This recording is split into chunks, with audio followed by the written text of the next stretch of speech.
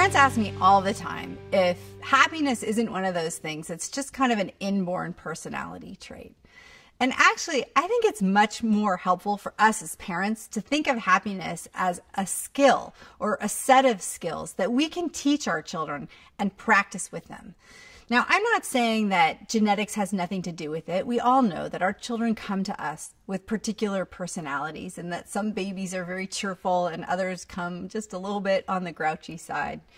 But happiness is something that we really influence through our habits and our beliefs and particular skills. It's a lot like learning a new language.